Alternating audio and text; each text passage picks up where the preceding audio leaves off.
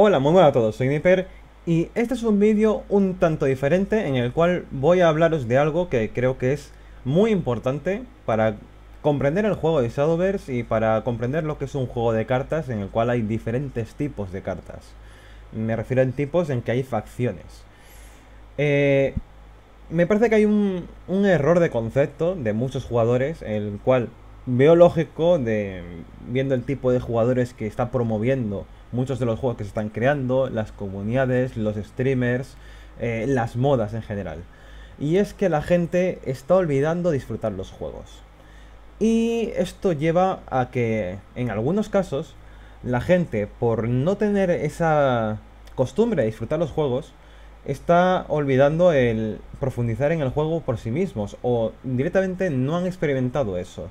Y eso está derivando también, en consecuencia, que la gente cuando juega juegos complejos, como por ejemplo uno de ellos sería Shadowverse, en el cual hay diferentes metas, hay diferentes tipos de mazos, unos se hacen frente a otros, ahora mismo algo está encima y tienes que luchar con lo contrario.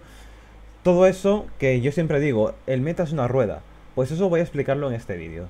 Porque me parece que es necesario, ya que hoy en, en Discord, en el Discord de Yori, en más concreto, pues había una conversación de un chaval que había dejado el Shadowverse porque le parecía que era una... estaba muy fuerte una clase y que estaba cansado de verla 24/7. Y yo me digo, si sabes que están jugando tus rivales, ¿por qué no lo aprovechas a tu favor? Y en verdad hay que comprender la opinión de, de este compañero porque eh, mucha gente, cuando juega un juego de cartas como este, que es muy complejo, pues eh, intentan ir a páginas para informarse de cuáles son los mazos fuertes, cuáles son los mazos por una tier list, que yo suelo traer los vídeos de tier list cuando hay un cambio significativo. Ahora ya tengo preparado otro vídeo en el cual no estoy de acuerdo con muchas cosas de la, de la lista, pero va a estar también explicado en este vídeo en concreto. Porque en este vídeo vais a ver que las tier lists mienten mienten en general. A ver, no mienten en datos, porque están reflejando unos datos reales de, de win ratio de mazos, de enfrentamientos y de cantidad de enfrentamientos o cantidad de gente que los juega y prefiere esos mazos con respecto a otros. Pero esto lleva también a que si hay muchas tier lists y la gente confía en las tier lists a rajatabla y dicen, ostra, este mazo es tier 1, voy a hacérmelo y voy a ganar todas las partidas con él. Y después dicen, es que estoy perdiendo. Porque me están jugando mazos que no están en la tier list o que están muy abajo. Y de repente los mazos no puedo hacer nada contra ellos. Porque es una rueda. Y por eso os estoy mostrando ahora mismo esto, para que podamos ver las diferentes clases. Y también hay mucha gente que, por ejemplo, está diciendo, es que Forestal es una clase que a mí me encanta jugarla, pero es horrible jugarla en rotación. Y yo, juega ilimitado. Porque esta clase, eh, voy a explicar ya de paso en este vídeo cómo son las clases, cuáles son sus fuertes, cuáles son sus puntos débiles y el por qué destacan más en una clase, en una cola que en otra. Y empezaré por orden. Pues, ¿por qué en Forestal le, pasa mal en, rotación? Pero sin embargo en limitado es tan poderosa. Porque es un mazo o una clase en la cual jugar muchas cosas por turno, y todas las cartas tienen costes muy reducidos, aparte de tener, es el mazo con más devoluciones de cartas a la mano para poder seguir jugando cosas, eh, donde la mayor conjunción de esas cosas pasan bien, es en ilimitado, porque tienes a disposición de ti mismo todas las cartas de coste bajo que hacen combo. Ahora mismo, en ilimitado, hay un mazo que solo tiene cartas de coste 3 para abajo. Y ese mazo es tier 1, es God tier. Yo odio jugar ahora mismo ilimitado desde que salieron las rinocerachas nuevas. Porque esos reinos de rachas hacen de que gane la gente de una forma que es hasta molesto que te ganen así. Demasiado rápido. Pero después dicen, ya, pero es que sin embargo en rotación no funciona. yo, pues normal, porque es un mazo que requiere de todo lo bueno que ha salido a lo largo de todo el juego para salir así. Dicen, ya, pero es que tienen que salir cartas más fuertes para que esté fuerte en rotación. yo, no, porque esta clase está diseñada para jugarse en ilimitado. Todas las mecánicas de esta clase se triunfan más en ilimitado que en rotación, por cómo está diseñada la clase. Lo mismo pasa, por ejemplo, con otras clases que vemos por aquí, que sería, por ejemplo, eh, Dracónico. Dracónico es una clase que siempre consideramos que está en la media tabla, nunca demasiado alta, porque en cuanto sube un poquito sale otro mazo que le hace counter, pero siempre está ahí. ¿Por qué? Porque tiene cartas que hacen rampear, o sea, que hacen acelerar el mazo. Y están como cartas básicas, que sería el oráculo de dragón. Por lo tanto, la clase se basa en ese tipo de cosas y en ese tipo de mecánicas. Entonces, aprovechan muy bien cosas muy caras, pero siguen aprovechando también las cosas muy baratas. Entonces, es un mazo que está diseñado para el todoterreno. Las cosas nuevas le vienen bien porque las puede incorporar sencillo, ya que tiene cartas básicas que apoyan ese tipo de juego. Sin embargo, también puede haber mazos que en rotación sean muy poderosos y en el limitado no se como un colín, por lo que dije de Forestal. Forestal y otras clases en el limitado son dioses, o tienen arquetipos que son muy poderosos, y están completos en ese, en ese formato de limitado. Por ejemplo, mire, contemos ahora Manaria. O Rúnico en general. Rúnico tiene tres facciones, ahora crecientes aún encima, están creciendo aún más con las máquinas. Ahora mismo hay un mazo de máquinas que está triunfando bastante. Pues tendríamos Ritos de Tierra, un mazo super explosivo, controlero, mil cosas. Tenemos eh, Carga Mágica. Carga Mágica es brutal, tanto para la Quimera como para eh, el eh, mm, un montón de cartas que dices que no puedo jugar yo, juega solo él. Después tiene eh, también el mazo de Daria, que es un mazo super agro. Yendo en la mesa constantemente bichotrones y es de o tengo limpiadores masivos o me revienta. Y también tiene Malaria, que no triunfa tanto en ilimitado, pero en rotación fue, fue un dios hasta que llegó otro mazo que le superó en velocidad. Y todo esto, ¿por qué estoy diciendo todo el tiempo de fue superado, fue superado? Porque el meta es una rueda. El meta es una rueda. Cuando un mazo está aquí arriba y la gente lo ve constantemente en, en partidas, hay muchos jugadores, yo me incorporo entre ellos, que se ponen a pensar cuál es el mazo que vence a ese. Porque un mazo que está arriba del todo sigue teniendo debilidades. Y si no las tiene, saldrá C-Games y lo nerfeará. Como suele hacer. Veis de repente que nerfea una carta y dices, esta carta, ¿por qué nerfean esta y no la otra? Como, por ejemplo, yo considero que Date debería haber sido nerfeado, no sé cómo, pero debería ser nerfeado, porque quitarle algo de lo que tiene lo, lo inutiliza por completo, pero así como está, está muy fuerte. Entonces, es una carta que yo no sabría equilibrar, y si no la han equilibrado ellos, seguramente ha sido por otros motivos. Pero, por ejemplo, el combo Poseidon más Date era muy fuerte, no lo nerfearon, yo me extrañé, pero es que después explicó con las siguientes expansiones que sacaron, las mini expansiones, recibían apoyo a otros mazos y ellos no lo recibían, para compensar y que hacer que la rueda siga girando. Entonces, ahora mismo la gente se está quejando muchísimo de clerical y de vampiros. Hay muchísima gente que está, pero llorando incluso en Twitter, de que los mazos de clerical les están reventando yo. Pero si no están tan fuertes si Clerical pierde drásticamente contra vampiros si a vampiro le sale bien. Y Clerical para ganarle un mazo de vampiros tiene que salirle muy bien a Clerical. O sea, tener en el turno primer turno de evolución a Elana y poder hacer crecer toda la mesa y que el rival no te la limpie. Esa es otra. Porque el de vampiros dice, no, es que tiene tres bichos tronos de mesa, porque puede tener hasta cuatro, ya que tiene el amuleto de Elana ocupando uno de los cinco huecos. Y dice, vale, calamidad. Te ha reventado a tres automáticamente por dejarlo caer te ha reventado a 3. O sea, todos los recursos que has invertido se han perdido instantáneamente en 3 de tus bichos. Y el otro lo puede reventar él, porque tienes a Laura que le puede dar asalto y chocarlo directamente. Puedes bajarle el coste, con la carta dorada que salió, que baja en coste a dos combatientes de vampíricos si estás en venganza en un punto. Lo puedes hacer varias veces. Ese encima puede estar bufado, porque puedes haberle hecho crecer con varias cartas que hay en mazo de vampiros. Pero también aquí es donde entra el tema. ¿Cómo se vence ese mazo? Porque Clerical se vence actualmente con lo que hay ahora mismo de Vampiro Venganza si le salen bien las cosas. Pero a Vampiro, ¿quién le vence? Y la gente se puso a pensar. Eh, oye, si dependen del tema de entrar en venganza, pero si tú le metes en venganza antes de que roben a la tía, se la roban y no activan la venganza no se queda activada. No sé si lo sabíais, pero si robas a la vampiresa y tú ya estabas en venganza, ella no se exilia y te deja en venganza aunque te cures. O sea, si te curas, perderás esa venganza. Y dirán, vale, pero es que se puede tirar a Azazel, que Azazel es una carta que contra Clerical, por ejemplo, es otra carta que le destruye, porque tiene bichotrones gigantes, el mazo de Clerical, y dice, ya, pero solo puedo recibir daños de 3 en 3. Y, me, y si tengo algún tipo de cura que puede llegar a tenerlas, como por ejemplo sería Jurius, Jurius tu en la mesa te va curando de uno cada vez que entra un bicho del rival. A partir de un múltiplo de 3 es una vida extra. Completamente worth it ese Jurius en el mazo que hay ahí. Pues entonces se paran a pensar, uh, el daño de rúnico de ritos de tierra es de 3 en 3. Es perfecto contra Zazel. Entonces, la gente que jugaba Vampírico Venganza decía, uy, estoy contra Rúnico, tirarme a Zazel no me sirve nada, simplemente me acerca más a la muerte. Entonces no voy a jugar a Zazel por evolución. Ya le estás quitando mecánicas. Después es, está haciéndole daño constante.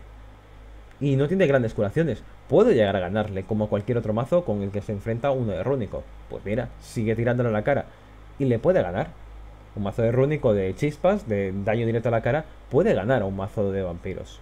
Porque si el mazo de vampiros, por algún casual, no tiene ningún tipo de guardián, tiene a los 3-5 con asalto.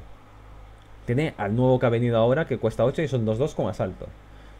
Tiene también el golem, que es un 3-3 con guardia, pero las veces que cargues el, golem, eso va a crecer hasta el infinito. Hay un mazo de máquinas ahora de rúnico que se, sustenta en estar recibiendo todo el tiempo sónico en la mano y llenar la mesa constantemente.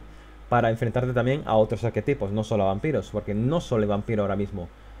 Y la gente se puso a pensar, hmm, ya, pero Rúnico tiene algunas deficiencias. Si se enfrenta a un mazo de clerical, lo pasa mal. Mm, también tiene mucha lentitud al comienzo y a lo mejor es cuando quieres ganarle al mazo de Rúnico. No tengo gran presencia en mesa al principio de la partida. Va todo el daño a la cara.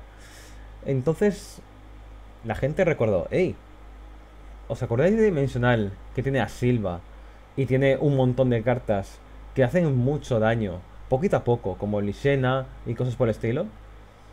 Pues Lisena, con Silva y marionetas, es un mazo que ahora mismo destroza por todos los lados al mazo de vampiro. Vampiro no es imbatible. Si se enfrenta a uno dimensional, el que lo pasa mal es el vampiro.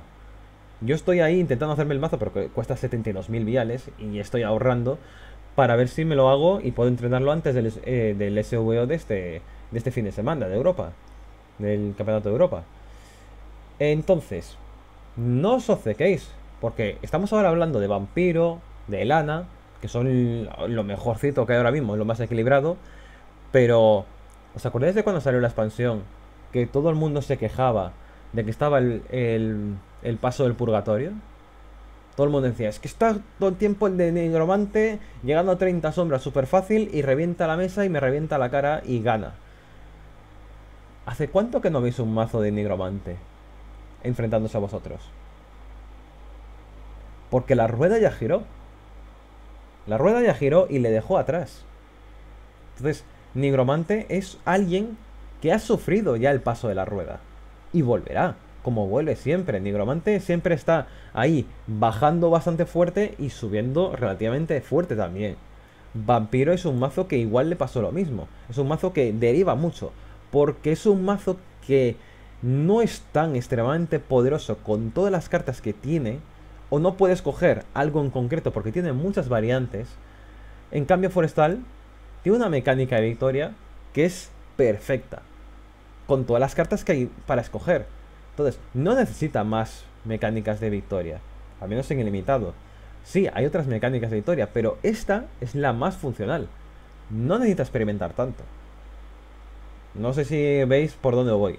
Pero Forestal, en rotación, es lógico que no esté tan fuerte porque está overpower en ilimitado. Cambio en otros mazos, pues suben y bajan mucho. ¿Os acordáis de Imperial? Hace mucho que yo no veo un mazo de Imperial que me cause verdaderos problemas. Ahora mismo está creciendo el mazo de máquinas de Imperial y está bastante bien, porque está bastante bien, pero no llega al punto de ser tan opresivo en mesa como pueden ser otros mazos que están ahora mismo jugándose. Entonces, aún le queda un poquito a la rueda para llegar otra vez a Imperial, pero llegará y lo veremos y será poderoso como siempre Imperial, porque tiene cartas muy buenas para esta expansión. No, obviamente no tan poderoso como era el meta anterior, pero también le pasó eso a Clerical. Clerical tenía el mazo este de, de los leones y era de, estoy jugando leones, no estoy jugando Clerical. En el limitado teníamos el Serafín, teníamos eh, también Zekibaba, teníamos un montón de mazos. El mazo de pájaros también. Todos esos mazos, en ilimitado yo os acordáis que siempre hablaba lindezas de mi mazo de Serafín. Ahora mismo no los puedo jugar porque la rueda ya giró. Y Forestal ahora mismo ha crecido aún más. Y se ha vuelto a poner por delante del mazo de Clerical. Y eso que mi mazo había sido diseñado en concreto para enfrentarse a esos mazos. Pero ahora mismo tengo que buscar la forma de hacerlo más veloz. E implicarme en investigar el juego. Y eso es mucha gente que está olvidando el concepto de descubrir el juego. Hay mucha gente que va, como ya dije, a las tier list a copiar un mazo. Pero no están disfrutando del juego, están mecanizándose su, jugabilidad. Esto al fin y al cabo es un juego. Tomárselo en serio, o muy en serio, mm, se lo pueden permitir muy pocos, que son los que ganan dinero con esto. Vosotros primero centraros en disfrutar el juego, que es lo que os ha traído aquí. Y si no os ha traído aquí la diversión, el entretenimiento, el compartir experiencias con la gente, el compartir experiencias con el juego, el disfrutar de su arte, pues a lo mejor también hace falta cambiar un poquito los aires. Yo, por ejemplo, no sé si lo sabéis, pero ya lo he dicho algunas veces por redes sociales, mi juego más jugado no es ni esto ni el League of Legends, que el League of Legends lo juego desde la temporada 1. A finales de la temporada 1, pero en la temporada 1 tengo alguna partida clasificatoria y todo.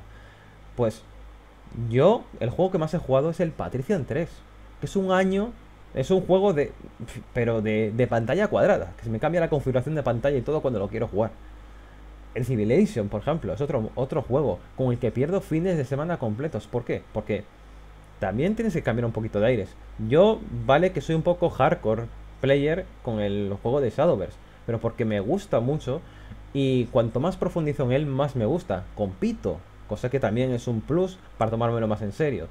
Y tengo un canal en el que evidentemente procuro llevar mis conocimientos a vosotros e intentar eh, transmitiros mi, mi gusto por este juego.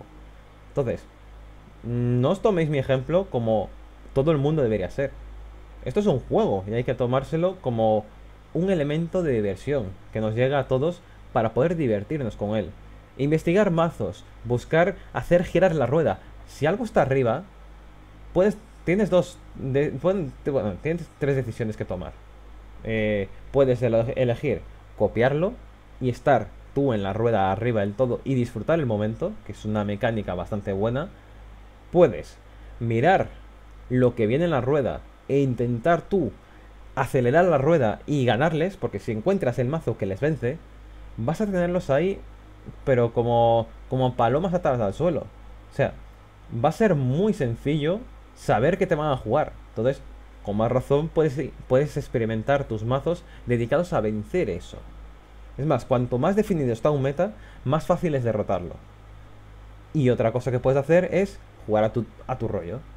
Jugar para divertirte, con el mazo que quieres jugar. Mm, no es el más. el que más recompensa en tema de, de, de victorias, porque no lo es. Pero si a ti te gusta jugar algo, juégalo y disfrútalo. Yo, por ejemplo, Clerical, como podéis ver, lo he jugado en los peores y en los mejores momentos. Porque es así, lo he jugado en los peores momentos de Clerical y en los mejores. Yo, por ejemplo, aquí veis que tengo 10 partidas de Dimensional. Dimensional ha estado fuerte. Porque estaba muy fuerte. Tengo 10 partidas de, de, de clasificatorias aquí, pero ¿hace cuánto que salió Dimensional? ¿Por qué? Porque no me gusta jugarlo. Imperial tengo bastantes porque yo cuando empecé el juego este era el más fácil de montar mazos. Y cuando estaba experimentando que aún no había descubierto la profundidad de todos los mazos, pues le dediqué bastantes eh, partidas a, Imperial. Pero esto es la historia de mi juego. Yo llevo dos años jugando a esto. Y vale que tengo poco tiempo y por eso los números son bajitos, pero aquí se puede ver un poquito la personalidad de cada uno. También tenéis que conoceros a vosotros mismos. Eh, un mazo, si lo copias y lo pegas, no vas a poder sacarle todo el partido. No, es, prácticamente imposible. Tienes que ser o un jugador el cual eh, juega sin personalidad, que son los jugadores top, que son, eh, son los jugadores que yo llamo los poker face. ¿Por qué? Porque cogen un mazo y le sacan todo el partido. De esos hay tres contados en el mundo. Porque es así, los, tíos que están, que son genios, que están arriba en las, en las partidas, que, en los torneos, que los vemos varias veces, en, el SWO, que van al mundial varias ocasiones, etcétera, son gente que son de ese tipo de jugadores que se amoldan a cualquier meta, cambian de clase, eh, experimentan lo máximo. Pero os fijáis de que sus mazos nunca son de una tier list, siempre tienen algún detalle. Y ese detalle es porque, aunque no lo parezca, tienen un poquito de personalidad que, que intentan mostrar en sus mazos. Y conocerlo, conocerte a ti mismo, conocer qué es lo que quieres sacar en el mazo, hace de que tú puedas sacarle un partido extra al mazo que no le puede sacar a otra persona. Yo, por ejemplo, soy un jugador de control. Entonces, mis mazos siempre procuran tener la mayor capacidad de, de respuesta ante lo que haga mi rival. ¿Por qué? Porque yo siempre he jugado, por ejemplo, en donde yo comencé a disfrutar las cartas fue en Magic. Yo jugaba azul y blanco. O sea, eran, son clases de respuesta. No clases agresivas como rojo. Mm, yo jugaba eso, azul y blanco. Yo iba a molestar al rival, a controlarle. Y bueno, mi compañero de piso pues jugaba azul-negro, que es más controlero aún. O sea, ¿por qué, crees que me llevo bien con él? Pues ahí se muestra un poquito de la personalidad de cada jugador, de saber cómo puedes sacarle partido a tus matos, cómo puedes mejorarlos y cómo puedes enfrentarte a otras cosas. Yo, por ejemplo, ahora mismo en Vampirocos me estoy enfrentando a mucho dimensional. La gente se queja mucho de clerical y de vampiros, pero yo estoy viendo cada vez más y más dimensionales. Porque han visto que alguien ha experimentado, ha hecho girar un poquito la rueda y lo están copiando. Algunos incluso lo están mejorando y eso me gusta mucho. Yo ya tengo dos posibles mazos de eso. Lo que pasa es que quiero unirlos para incorporar mi personalidad en ellos. Pero esto es el intríngulis de este juego. Es lo que nos hace disfrutarlo un, pelín más a la gente como yo. Y yo considero que si de verdad quieres profundizar tanto en el juego como yo, esta es una, forma buena de mantenerte divertido con él. Yo me paso bomba el juego jugando a esto. Yo en casa mm, no puedo jugar muy tarde porque me pongo a chillar cuando me salen las cosas muy bien. De eso de, bien, me ha salido lo que necesitaba. O, mira, la que le estoy liando desde tres turnos atrás y no se lo espera. Porque tengo ese detalle en mi mazo que no se lo espera la gente. Y por ejemplo, ahora mismo el mazo de vampiros como mostré el otro día ya ha cambiado por completo. Yo veis, el mazo que os mostré era este de aquí. Reenfadada. Pues pasó por este y ahora está en este otro. Y este otro está preparado, o al menos intento que esté preparado, para esos counters que están saliendo. Tengo curaciones, tengo cosas así. O sea, mm, este mazo, por ejemplo, no lo ve mucha gente. Nadie ve ese núcleo. Pero son mecánicas para incorporar a nuestra jugabilidad. Y ha habido partidas en las que he ganado y la gente decía, es que no me esperaba esa evolución extra.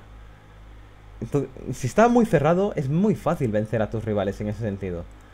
Y eso hace de que tú crezcas en el ladder, que si lo que te importa es crecer aquí, en las clasificatorias, pues está muy bien el tema de mantenerte arriba de la rueda. El tema es, descubre cuando la rueda ya ha girado. Que eso no lo avisan en las tier lists. Las tier lists solo muestran datos. Cuando los datos son tan grandes que la rueda ya está girada. Entonces, o tú experimentas para ponerte tú arriba de la rueda cuando está girando para ponerte arriba, o entonces estás intentando que la rueda no caiga. No sé si me explico, es un poco abstracto lo que estoy intentando mostraros y si supiera hacer animaciones pues os lo mostraría con un gráfico, pero creo que os estoy intentando transmitir bastante bien el, el concepto de que no os preocupéis por el meta, no os preocupéis porque hay algo que os parezca demasiado fuerte, porque ahora mismo el juego está muy bien equilibrado. Lo que pasa que si una cosa está muy fuerte ahora, la cosa que le vence lo, derrotará, lo volverá inútil, y entonces dirán, es que esto está muy fuerte. Ya, pero, y vampiro, nada, eso es de la semana pasada. Mm, ¿Os recordáis de Nigromante? Pues ese es el tema. Y esta expansión está siendo muy buena porque la anterior era muy desequilibrada en el tema de que Leones estaba rotísimo, Imperial estaba rotísimo. Era muy difícil enfrentar ante eso.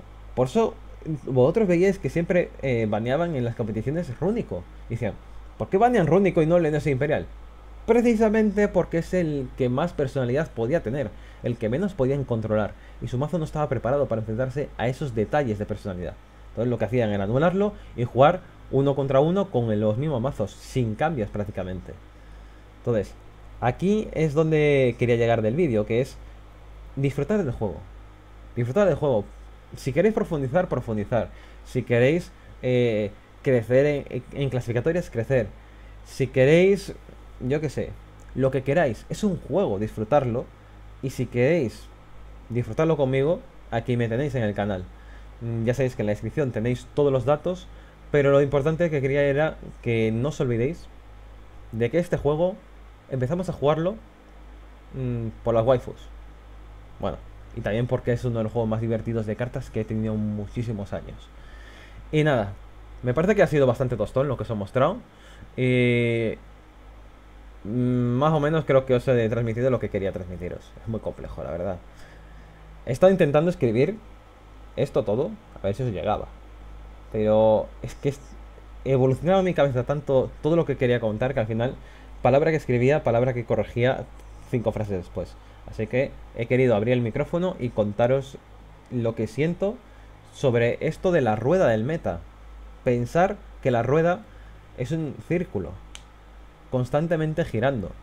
Lo único que puede pasar es que la rueda se atasque en el barro, y entonces cuando C-Games llega con un parche para nerfear cartas. Los nerfeos son para que el, barro se, se, disuelva un poquito y pueda seguir girando la rueda. Las mini expansiones es para que la rueda siga girando sin llegar a embarrarse. Y la expansión es más de lo mismo, solo que las expansiones es un, un acelerón para que la rueda gire de verdad. Entonces, intentar disfrutar del juego. Espero que os haya gustado el vídeo. Nos vemos en el próximo. Hasta luego. Hasta otra.